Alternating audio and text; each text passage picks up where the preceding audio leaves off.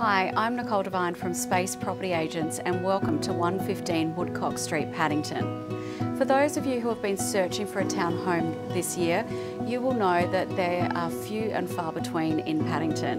This townhouse is located in a small boutique complex of just four properties and it holds prime position at the front of the complex. The courtyard really sets this property apart. It has a lovely timber bench seating which flows along the side and is just a great space for alfresco and outdoor entertaining. The courtyard flows seamlessly inside to a large tiled living area. Downstairs there is also a private study, a powder room, kitchenette and laundry. A stylish timber and glass staircase leads upstairs to a formal dining area overlooked by a contemporary kitchen. Also upstairs there are two well-sized bedrooms with robes and an appealing bathroom.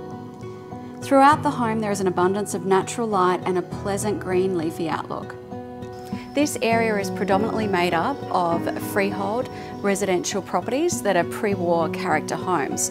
So Paddington is what it is. Uh, there's not going to be a lot of townhouse developments or, or high-rise developments in this area in the future.